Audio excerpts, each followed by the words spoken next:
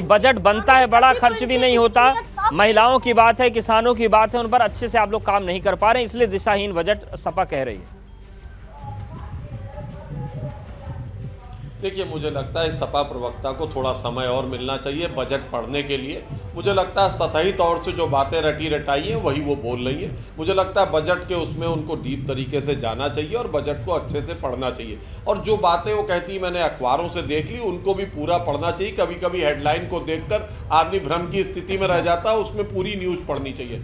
Budget पे जहाँ तक बात है, तत्काल इतनी जल्दी प्रतिक्रिया नहीं देनी चाहिए। उत्तर प्रदेश विकास के पथ पर चल रहा है। सरकार ने जो भी बजट जारी किए लगातार उस पर काम होने का है। अगर ये कहती चुनाव दर चुनाव तो चुनाव दर चुनाव जब से हमारी सरकार आई है, लगातार चुनाव जीतती रही। इसके मतलब बजट कार्य कर रहा है। सिर्फ़ एक सीट आप मैनपुरी जीत गए तो आप कहते हैं कि बजट पे कोई काम नहीं हुआ, सरकार कोई काम नहीं करे। मुझे लगता है बहुत सतही बयान है। सपा प्रवक्ता को अपने बयान को, बजट को बहुत अच्छे से पढ़कर फिर जारी करना चाहिए। महिलाओं के लिए भी है किसानों के लिए भी समर्पित है छात्रों के लिए भी है गरीब वर्ग के लिए भी और उत्तर प्रदेश विकास के पथ पर कैसे आगे बढ़े उसके लिए भी है शिक्षा के लिए भी है स्वास्थ्य के लिए भी है। लेकिन मुझे लगता है यही एक सपा की सबसे ज़्यादा वो है कि हल्ला बोल टैक्टिस आती है लेकिन उसको पढ़ने का काम जो है वो सपा नहीं कर पा रही। मुझे लगता है हो सकता है जल्दी हो इतना बढ़िया बजट लेकिन उन्होंने इतना लंबा चौड़ा है उन्होंने किसान और महिला की बात की है तो आप उनको संतुष्ट कर दीजिए कि क्या ऐसा बजट में है कि उसे मान ले वो कि अच्छा है।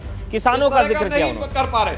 मुझे लगता है कि समय मिलना चाहिए और जो बहस है उसको एक सकारात्मक की तरफ़ होना चाहिए। आप पढ़िए बजट को जब कमियाँ देखिए उसको जानिए उसके बाद उस पर टिप्पणी करिए। हम लोग अभी बजट को जो आया है पूरी तौर ठीक है जी एक सवाल मेरा और भी है। डिबेट से पहले मैंने तो पहले सोचा था कि अच्छाइयों शुरू किया जाए लेकिन ठीक है आपका पक्ष है कि दिशाहीन है लेकिन ये जो इतना बड़ा बजट है कोई पाँच अच्छाई आपको दिखी अच्छाइयों पे भी चर्चा कर लेते हैं। कोई अच्छाई क्योंकि देखिए जब बुराई होती है ना तो ये जनता भी समझ गई है कि अगर बीजेपी सत्ता में नहीं होती तो आपकी बजट की बुराई कर देती। आप नहीं तो उनकी कर दी। लेकिन कुछ अच्छाइयाँ तो होती होंगी इतने बड़े बजट में। तो उसका दो तीन पॉइंट बताइए। अवधेश जी देखिए जो बजट आया है ये केवल शब्दों का मकर जाल है। सरकार खुद जब आपकी सरकार थी तो यही बीजेपी भी कहती थी। तो ये तो परंपरा है कि विपक्ष को अच्छा ही नहीं लगता बजट। ऐसी परंपरा नहीं आप सुनिए मेरी बात। मेरी मुझे मौका तो दीजिए। ये खुद पढ़ रही है भाजपा, इसको और खुद ही अपनी वाहवाही कर रही है, खुद अपनी पीठ थपथपा रही है।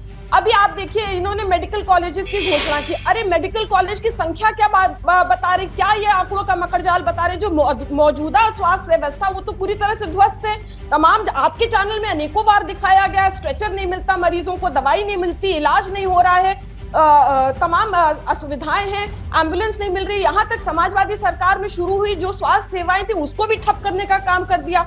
अरे, अगर ये महिलाओं की बात करें तो कम से कम महिलाओं के लिए जो गैस सिलेंडर का दाम है, वो कम से कम पाँच सौ रुपए कर देना चाहिए था। दूध का दाम तक बढ़ा दिया उन्होंने। अरे ताकि गरीब के बच्चे जो है, दूध तक ना पी पाए। इनकी, इनको इतनी नफरत है गरीबों से।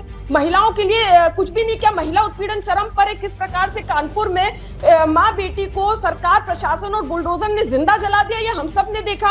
और अभी आप बात करें, भ्रष्टाचार की भ्रष्टाचार भी चरम पर है। एक्सप्रेस वे में भ्रष्टाचार, सड़कों पर भ्रष्टाचार। अरे हाथ से खोद खोद कर आप सड़क निकाल सड़क सड़क निकाली जा रही है। एक्सप्रेस वे ये किसके किसके नकल में बना रहे हैं? माननीय अखिलेश यादव जी की नकल में बना रहे माननीय अखिलेश यादव जी ने तो 22 महीने में आगरा लखनऊ एक्सप्रेस वे बना दिया एशिया का पहला ठीक है चलिए इस पर भी आएँगे गंगा एक्सप्रेस वे का ज़िक्र उस पर भी बात करेंगे। हीरो वाजपेयी के पास जाएँगे शैलेश भी हमारे साथ जुड़ गए शैलेश बजट आते ही वो तकरार शुरू हो गई है जो हर साल होती है। अखिलेश यादव ने साफ़ तौर से कहा है कि दिशाहीन बजट है। इस पर सरकार का क्या पक्ष है और क्या प्रतिक्रियाएँ आ रही हैं चारों तरफ़ से?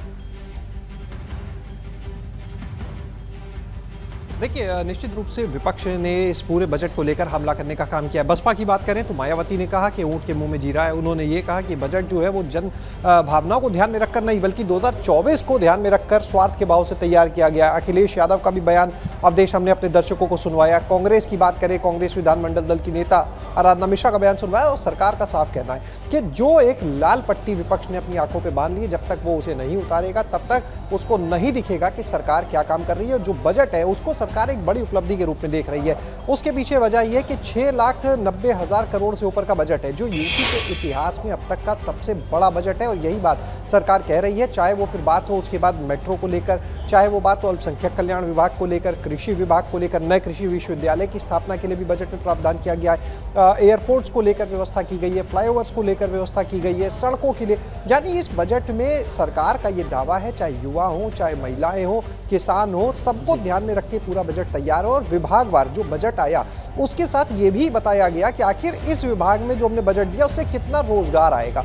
यानी अगर हम कृषि विश्वविद्यालय की स्थापना करते हैं उससे कितना रोज़गार आएगा? अगर हम कहीं पर फ्लाईओवर का तमाम चीज़ें लेकिन जो जी ने सवाल उठाया कि ठीक है काम आप कर रहे हैं लेकिन काम की रफ्तार क्या?